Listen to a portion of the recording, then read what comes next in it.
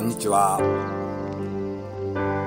今回は赤城山の麓にある赤城神社にお参りです。ここは他の赤城神社と区別するため三代沢赤城神社と呼ばれています。